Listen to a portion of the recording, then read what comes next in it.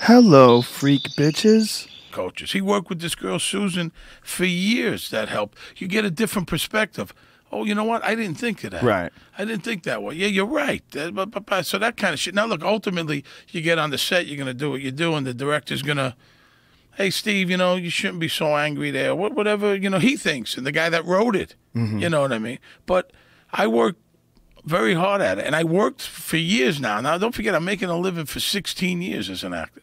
I left the Riviera in 2000. Isn't that crazy? Yeah, 16 years. So, and I've done a lot of shit. This is you then. saying that 2000 was 16 years ago makes me go, what? Yeah. Is that right? Yeah, I left there. I started on The Sopranos in '99. I, I went back and forth for a year. You know, I didn't quit the. I did six episodes. I was still at the Riv. What is it like? That one must have been fucking strange. I was still at the Riv, and then I booked it for ten years. I, you know, I booked the Riv until 2010. Chris Yeah. Rock said, "You're still dipping your toe in that shit." I said, "Why not?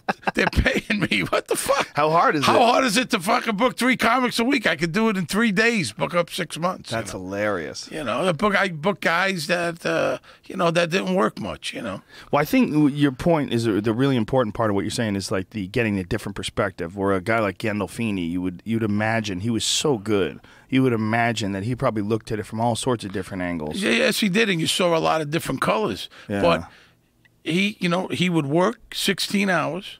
Okay, 16 hour days on The Sopranos. He's in. He's there. So. I mean, the guy gets up whatever time he got up. Then he's got to go home and learn tomorrow's stuff. So sometimes he told me he'd be sitting in the chair, he'd fall asleep for two hours. He wakes up, she's still there, just waiting for him to wake up, and they're gonna work on the, the stuff for tomorrow. Whoa. Yeah, and then and nine months of that. Don't forget, you know, the Sopranos, Joe. They were when I got on the show, it was like eight days. I came on the second season, so it was like eight days for an episode. Then nine, then ten. At the last season, it was we we shot nine shows in nine months. Holy shit. Yeah. You know, it was like shooting a movie. There's no commercial, so it's a full hour. But, you know, that's what it was, man. It was long. It was like shooting a movie. Wow. I mean, a month an episode. I, I the, the first episode was 17, 18 working days. Lorraine Bracco said to me, "You're going to work more in this episode than I will the whole season because she only worked one day an episode. You know, she had the greatest job in show business. Wow. They shot that in one day. Oh, that's beautiful for her. Well, you know, Was a great part too. Yeah, it was great. You know, but I, I, I think the the coaching wise, and I think a lot of it is, you know, you focus, you concentrate, know your stuff, know your lines. I mean, you're an actor, you know. Know your shit. Don't come in and be like a smart ass. Yeah, maybe I'll paraphrase. Know your stuff. Respect what's on the page. You know, that's I'm a I'm a big believer in that. Yeah. On The Sopranos, you didn't ad lib the word "the," and I'm not joking. You there was a there was a time that I had to say uh, I gotta go, and the line was I have to go, and they kept correcting me and correcting me and correct because I just you know I gotta go. No, I have to go. I don't know why, what, when. I didn't question it. Right. You know, I mean, you know, but That's a crazy amount of work when you're talking about with Gandolfini. That's really that's still fucking with my head. Yeah. Now listen, Jim was one of my closest friends. Couldn't find a better guy. He worked. Hardly saw his kids. You know, his kid. You know, uh, his daughter wasn't born. You know, uh, uh, while he was on The Sopranos, but it was like no life. You could completely gave up your life. Not the rest of us because there was so many characters. You know, I didn't. I had a couple episodes where I worked a real lot, but you know, otherwise, it just can't be good for your health. well, it was a you know a lot of guys. I mean, I've, Yeah. I've read. Uh, I think Jimmy Smits I read years ago NYPD. He said he couldn't take it. It was 18, 18 hour days. Yeah. And yeah, he was making a fortune. He said I couldn't do it anymore. Yeah, no, I've, I've I've had friends that have been on dramas before, and it's the same thing. They would tell me that I just they just couldn't do it. They just they would You do know- it, and they would just they would be when the season would wrap, they would go, "This has got to be my last season. I can't do yeah, this I mean, you know, it's it's a point with the money. Now, you know, the thing what I- what I love about Blue Bloods is there's a lot of characters, so there's different stories. So it's not like that. Not my signature. Whoa, It's hanging up. It's it's you know like seven of us, but it's not my signature. how crazy is that? Yeah, Someone's somebody- got a fake signature hanging up on a nice restaurant. Bobby Bacala with a fat fake stomach. It's from, it's from the days when I wore the fat stone. Oh, they made you put like a prosthesis For on, two right? years, yeah. Then I got fat enough on my own. Did you get fat enough just so you don't have to wear that thing? no, no. One day, Chase, uh, you know, I, I, you know, when I first got the role, I was seeing all these jokes like you're calzone with legs and you're fat fuck and you're thinking, I'm going, I'm not that much fatter than Gandolfini. I Yeah. was starting to think that maybe they cast the wrong guy. I'm not joking. I'm saying, could it be? I mean, these jokes don't make sense. And then they called, oh, you got to come in for a fat suit. So I wore this Oh, ridiculous wow. thing. Then the second year, they made it like a really nice one, like a costume, like a costume shop. It had like tits and everything. At uh, a costume shop in uh, like a Broadway costume thing. And, uh, and then one year I was going back and I was at a fitting for the, the fourth year, you know, like the, the next year. And uh, he looked at me and he went, Hey, you don't have to wear that anymore. I said, All right. So I'm assuming it was pretty embarrassing at first. at first, I was prancing around. They, they had an ass on me too, like a big ass. They put a fake ass. Yeah, and he was going, nah, not too big. And I was like going, walking back and forth, like Oh, parading. Jesus Christ. it's fucking humiliating. Steve Landesberg, remember the comment? He said to me, Did they ask your permission to do that? And I said, No, Steve. He's, I wouldn't have fucking did that. I went, Well, I wouldn't have got the job, you know? That was a weird time when The Sopranos came out because all of a sudden there was like a lot of fake mob guys, a lot of fake connected guys, Well, a lot of fake Italian. You know what I mean? They're Like, still around. I call it gag, Guinea Actors Guild. Ah. Gag. but you know what I mean? It's like that acting that way became in fashion. They started. They they used to hang around wherever we were. They were around. They were extras. They was they're still around. But there was, you know, we did an appearance in a casino. We just do a lot of that stuff. You know, they were everywhere. They were everywhere. They were hoping to get on the show. Hey, come on, you did the show. I could do the, I could do the show. Oh, I, no. I remember Michael Imperioli one time. We were up in uh, Reno, and there was one of them guys, and Oh. he was playing blackjack, and you know, and uh, he said, "Come on, put me on the show. I could do what you do." I Michael just went Oh. off on him. I've been fucking trying for twenty years, you know, blah blah blah. I've been acting, and you, you know, I mean, he got. He, he hit Michael, and Michael was right. He got really pissed off. This is just one of those fucking goombas, you know. And the guy, I could do what you do, you know. They're the worst. exactly. There's like there's there's wannabes, but there's something about Guinea wannabes. Oh, that they, just, uh, uh, there's a lot. There's me. a handful out here. yeah. Oh yeah, there's yeah. plenty. And the thing here, they congregate together. yeah. When they try to like clang, hey Joe, you're Italian, right? You're Italian, you're Italian, you're Italian, man. You- We're together. What's the last name, Rogan? How come you got Rogan? What's the book? Uh, I, I kind of, I, I kind of try to navigate away from them. Oh, they're know. brutal. Like Well, they- even even in New York, I kind of, that's not my thing. You know? Well, Sopranos was so good that it almost killed the mob genre. You know, I think so. so I think you're right about that because you know what? Unless, and I get a lot of scripts, Joe. You know of that crap. You know they make these. I call them backyard movies. You know, Yeah. you're never gonna see them. You know, Right. whatever they're getting paid. I'm not interested because it's that same thing. I'll fuck you. I'll break your fucking head. You, go, you know who I am. You know who my uncle is. It's like a Dom Irrera sketch. Absolutely. but, it's, but it's true. But they write this. And I say, Right. how does people give them the money? How do you get the money to make these movies? Well, I think for a while people were making them just because Sopranos was so popular. But now, uh, unless you're going to beat Sopranos, Goodfellas, you know, th- th- what's the great mob movies? Sopra- you know, uh, show, Sopranos, Sopranos, Goodfellas, Goodfellas, Casino, Casino. Uh, Ra- uh, Raging Bull had mob Sure. elements, right? Great Right. movie. Uh, what am I missing? There, there was, There's uh, got to be a few of them. you know, some great, you know, great, great mob movies. But Right. now, after The Sopranos, I mean, You don't see you know, them The. Godfather, Godfather One, Right, Two. You know, there, there, there was some, but you're gonna have to beat that. Then they tried. They tried to do some mobby stuff. Uh, I, Ray Donovan's working. That's a good show. That's a good show. But that's from an Irish per- perspective. yeah. Well, I think what happened with those movies was, or, or uh, th th that show rather, is it, it was those. eh, You had a movie every week, Exactly. So like every subject was covered: betrayal, gambling, It was pussy, funny. murder. It was funny. It was funny. Funny elements. It was very smart.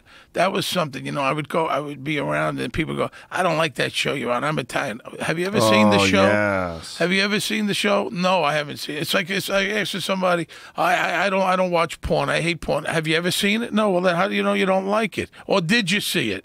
Or do you watch it? You know what I mean? But they're, Secretly. they're, they're holding signs up. Hey, well, no porn. Uh. Well, that was a big thing, right? The Italian American blah blah blah Oh, society was I'll you, protesting against it. How about this story? I wrote a kid's book, Nicky Deuce. Okay, uh, it took place in Brooklyn, and we turned it into a movie for Nickelodeon. You know, which I we did, and it's one of Gandolfini's last movies. And I had Michael Imperioli in it, and Sirico, and uh, uh, and Nickelodeon made the movie. But when I was when I wrote the book, I was doing book signings, and you know, it's about a kid, fish out of water, who goes back to Brooklyn. He grew up in the suburbs, and he winds up with uh, a kid, Italian neighborhood, Bensonhurst in Brooklyn, and he gets into some mischief. I don't even call it trouble, but so this guy kept writing uh, letters and shit and killing me on the internet and, and writing letters to the bookstores ahead of me getting there you know, like saying that he's, uh, you know, derogatory against Italians and he's uh, now he's bringing kids into it and blah, blah, blah, blah, blah. So finally, I get the guy's number and I call the guy. I swear to you, I say to him, listen, I think his name is, I think his name is Anthony. I said, listen, Anthony, blah, blah, blah, blah, blah. This is the world I know. Like rappers rap about what they know. This is what I know, you know? And uh, he said to me, I said, you know, uh, what can I do? Tell me what I can do. Let's fix this. I mean, because you know, you know, you, you blah blah blah blah blah. He said, well, you can make a donation to my organization. It was the Italian American bullshit. I said, you got to be kidding me, and I hung up on. him.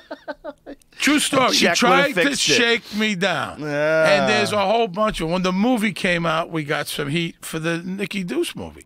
Really? And it's not really about mob. It's you People know, just want attention. I mean, exactly. You They know, and, and they did that with the Sopranos. But people would say all the time, you know, Joe, uh, yeah, I don't watch the thing. I'm an Italian. You guys talk bad about Italians. No, they didn't. They they they showed what really was. I thought it was very authentic. You know. Oh well, The- Sopranos is as authentic as it gets. If you know anybody like that, you know those people exist. Absolutely, and I To, think it- pretend they don't exist is offensive. exactly, and I think it was a story that need to be told. I don't Yeah. think uh, we're putting Italians down. This is what it is. Well, it was know? such a fascinating show because Gandolfini was a bad guy. Like his character, But you Tony rooted Soprano. for him. Yeah. you're rooted for a bad guy. A You murderer. rooted for a murderer who cheated on his wife, Yeah. stole, robbed, shook people down. Absolutely. But you, he was your guy. He was, I think, the first. I, I think I could be wrong. The first like anti-hero that people rooted for on television. I think you're right. I, I, I can't imagine. Before anybody- that, it was you know you, you root for the guy. You know. Well, he was a real anti-hero. You know, I yeah, mean, absolutely. a He was a murderer, murderer. A con man. I mean, all the above. stole it, it- they they didn't just do it to people in the mob they did it to people you know like on the show they wasn't just within each other Yeah. they went outside they were robbing Yeah. people and, Yeah. and, and busting up uh, uh, you know businesses Yeah. and doing all the stuff that they do you Yeah. know? It was great. show was good. It was very loved smart. it. It. was a very smart show, and if it would, if they put it back on now, they would get higher ratings than some of their shows now. I, I bet they would. It's well, it was so good. I think a lot of people forgot how good it was, and it also changed a lot. If you go to the first episode, the first episode was essentially like a slapstick comedy. You remember that? No, I don't. You remember uh, Lorraine Brock? Not Lorraine Bracco. Uh, who was the woman that played uh, his wife? Edie Falco. Edie Falco. Edie Falco had a fucking machine gun, and like uh, the the, the Oh, daughter was trying to sneak I out. haven't she's, seen it in She's outside with a machine gun Oh, pointing at her. It was way more slapsticky. It was weird. It was like a comedy. Well, they shot the uh, the show aired in '99, right? I think they shot that like in '98, if I'm not mistaken. Really? If I'm not mistaken, in '98, I, I believe, or '97 even, they go back and then it took six months and then they started shooting them. You know Well, uh, how how David Chase did it. He didn't do it like a regular show where you shoot it and then in three weeks it's on the air. You know, Uh, he put them all in the can. They were finished and locked and you know. You know what I mean? Like he, you know, you finished your your whatever it took nine months, and then he edited them and blah blah blah blah blah, and then they aired. You know, it was done a completely different way. Wow. You know, also they would uh, they would you know if they didn't like what you did, I mean he replaced you and you never even knew it. Really? Yeah, he replaced you. You know, like uh, I I had a scene with a guy, and they called back, you know, a month or so later, and said you got to shoot the scene again with a different actor, for whatever reason, whether you know the guy didn't do a good job or uh, he looked too young or too old or just didn't fit. He had the he had the uh, capacity to just shoot it again. If it, if a scene didn't work, he rewrite the scene. You shoot the scene again. You know, three months later. What's interesting about those kind of shows too is that they're so big and so popular that you become that character. Whoever that character is, you become that guy, and you're that guy forever. Well, that's of course. I mean, that, and that that's Yeah. part of the deal. That's okay. I had no career before that, so it's not But like uh, I'm you not know. saying with you, but I'm saying uh, like there's some people that are like you've worked since then, Yeah, and you'll yeah. continue to work. But there's some people that were on that show that were really famous when that show was on the air, and they vanished. Yeah, yeah, yeah. Well, you're in the, you know, you got people all over the world watching it. I mean, I've been stopped with people literally from all over the world that have watched the show. It was like a cult hit, like nothing that ever hit before. Like Big Pussy's Big Pussy for the rest of his fucking yeah, life. yeah. yeah. You know, but Vinny's also he he embraces that too. You know what I mean? He Right. embraces that. For him, and it works, and Right. he's okay. He works. He does his things. No, he's always going to work. He's a very good actor. Yeah, and Don't he's got his music. He's a musician and stuff. But I, I hear you. You know, Yeah. especially the name Big Pussy. That was a big thing. Well- People like to say that. Yeah, yeah, they do like to say that, but also his, the, you know, the scene in the movie when they kill him, like the whole, the whole way it plays out, it was very intense. It's like, whoa, I can't believe they killed Big Pussy. Well, that was the big thing. Spoiler too. alert. It was the first time. Uh, two a regular cast member gets killed. Yeah. I mean they're not killing the you know uh, the guy from Friends. You Right, know. exactly. David Schwimmer ain't getting killed. Yeah. You know. Oh, one you know one Friday night. Oh my God, they killed David Schwimmer. There's five friends now. Yeah. You know. So Yeah. that was a, a big character that gets killed, and then big characters kept getting killed, which is why guys were worried. I mean, there was a c- real concern that you were going to get killed off the show. The Oh, more yeah. material they gave you, Yeah, the more of a shot you're getting killed. You know, yeah, yeah. I mean, you know, and, and let's not kid ourselves. It's not just you know you're out of work. They just put you out of work in the biggest show. That- like when when Gandolfini killed Imperioli, I was like, whoa, holy shit. pinched his nose there. Yeah, like what? but but, but you know fuck? what? Once you made it into the last season, it was like, hey, listen, you know, we, Right. you, you you know, we're done. You're paid. However, the story ends. It's probably better. If Yeah. I would have got killed early on, I would have felt really shitty. I'll tell you, and Right. saw all the stuff that happened because you know, right, you know what I mean. And Right. plus, you know, we didn't. make- We started making money towards the middle and the end. You know, not the guys at the beginning weren't making a lot of money. well, those shows are hard to make money on, aren't they? Like HBO is. Nah, they don't worry. You know, HBO pays, and they pay now even better. And the show's off the air nine years. Wow. No, you know, we wind up, you know, and then there was other money coming in because you had opportunities to do other shit, you know. Well, that show was also groundbreaking in that it was one of the first shows like that, and now HBO specializes in those kind of shows. Uh, I and mean, so does they do. AMC, and so does Showtime. Yep. Yep. I mean, you know, yeah, it all kind of came it wa- from The Sopranos. It's the first time that they're hiring a, you know, a, a fat bald guy. You know, Jim Right. wasn't a leading man. You Right. Know? I mean, they they wanted, you know, you figure the good-looking mob guy. You know what I mean? but he was intense and charismatic, and what a Bruh, fucking actor girl- he was. the too. girls loved him. I mean, Yeah. you know, we used to joke. You know, they say TV puts ten pounds on you. I say it takes fifty off you. Well, he was just, it was uh such an interesting character. He was so intense. And like when he got into that murderous rage, like you fucking bought it hook, line, and sinker. Absolutely. When you acted with him, you didn't have to. Uh, you know, you didn't have to act scared. Like if it was a scene, I got to be scared. You got to yell at me. You know, you was fucking. You know, he gave you the whole thing. You know. Yeah. When we had that fight. You know, me and him had that fight in the first episode of that last season. I mean, you know, we shot that for a day and a half. Whoa. That was tough. He was choking me. He said, he said "Listen, you know, let, us try to take this as far as we can." And we fucking took. I was pulling his hair. He was fucking choking me. I was getting cut from the. I was wearing a you know necklace. You know, I was getting cut from that. I mean, we were banged up, Wow. banged up for real. And that's why it looked real. It was like two fat, out of shape guys. Fighting the fuck out of each other. I mean, they don't, you know, guys. It's not Steven Seagal, where Right. you know what I mean. You, you know, look, you, you, you know, what the hell? This was like a fight, like a, So when you do something like that, like how hard do you hit each other? You know, as hard as you, you know you could without really hurting. And he had said that, let's go as far as we could, and we were, you know. But how he, do you he do was that? even saying, "Pull my hair, pull my hair." you know, he's fucking pulling his hair, and, and he's choking me. Go ahead, go further. You know, you know. Like I said, we, you know, we're good friends. You, you know, if you do it with a stranger, it could get a little Yeah. funky. You know what I mean? Like, hey, well, you know, you know,